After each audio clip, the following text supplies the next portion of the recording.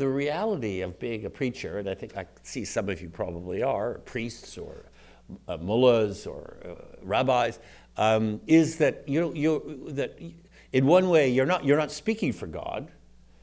Um, I know enough about. I've read enough. I mean, uh, you're really leaders of the debate inside the religions, and you know uh, you're not getting orders about what to say. You may be inspired or not, but you're part of that debate, and that debate is the spiritual essence of the religions, in my view.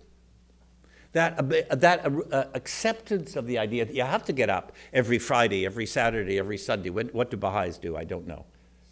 Seven days a week, or you know, or four times a day, or whatever it is, and, and and you get up and you start again. You start the debate again.